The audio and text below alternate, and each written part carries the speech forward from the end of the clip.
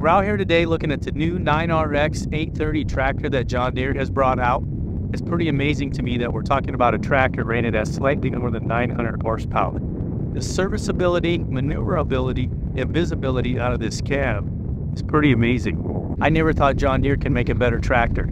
Every time they come out with a new series of tractor and they keep raising the more, it appears to me that they did it again here. I can't wait to get inside this cab and try it out.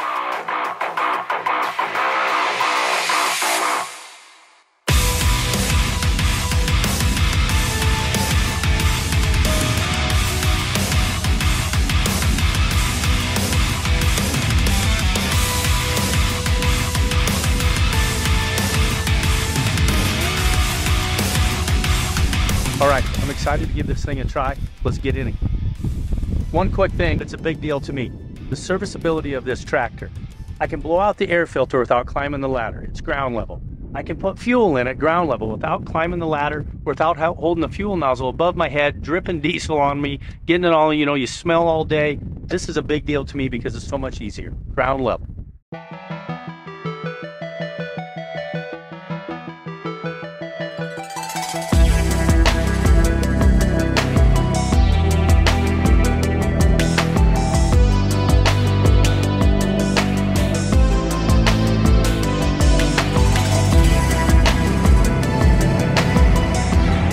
The seat swivels so far to the right.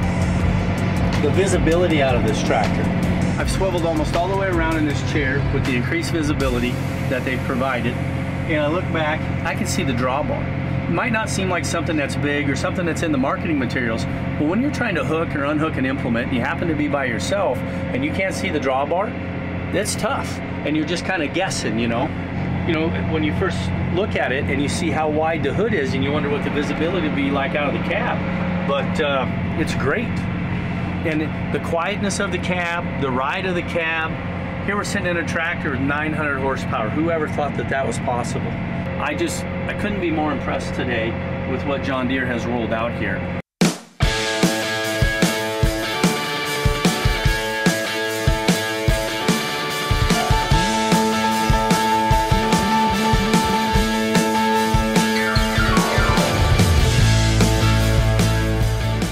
Out here with John Deere looking at some of the new tractors they got coming to the market. This tractor is a lot different what I'm used to. Uh, back home we run a lot of 8000 series tractor, row crop tractors. This tractor of course has tracks. On top of that is 830 horse with a 900 plus, 900 plus horsepower peak uh, capacity. So you look at that and this new processor this tractor has and stuff like that going on in it. It's pretty amazing what this tractor is going to be able to do.